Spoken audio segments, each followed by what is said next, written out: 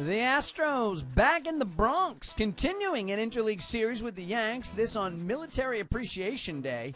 Meanwhile, New York captain Derek Jeter he had a few milestones in the making. The pinstripe shortstop with 23 career leadoff homers, second most in Yankee history, one back of Rickey Henderson, and now they are tied. Derek, being Derek, the leadoff shot, also his 3,000th total hit when combining both the regular and postseason, so it's one zip Yanks. Top two, the Astros respond. Hunter Pence crushed over the Astro bullpen in left center. Comes off starter Javier Vazquez. We're tied at one. It's now two on Stros in the third. This was a big Yankee frame. Jeter's on third after walking a stolen base and a throwing error. Nick Swisher brings him home, so we're tied at two. Same frame, still 2 2, still no out. Sacks packed for Jorge Posada. Makes Posada drives one to right field deep. Going back, Pence looking up. See ya! A grand slam for Posada.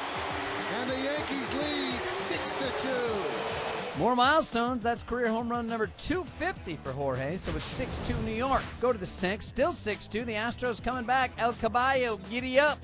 Carlos Lee with his 10th homer, make it 6 3. Bottom half. Well, more from Derek Jeter. He had the homer earlier. Up again, this time with two on. That one is hit deep to right field. Pence back, track, wall, see ya! Three-run home run for Derek Jeter.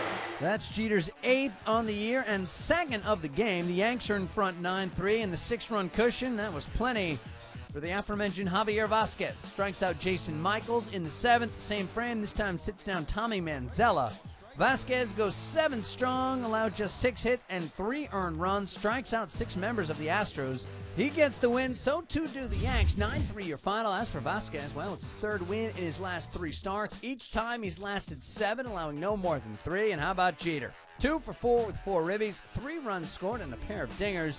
Jorge Posada, he goes two for three, also with four ribbies, including his eighth career Grand Slam.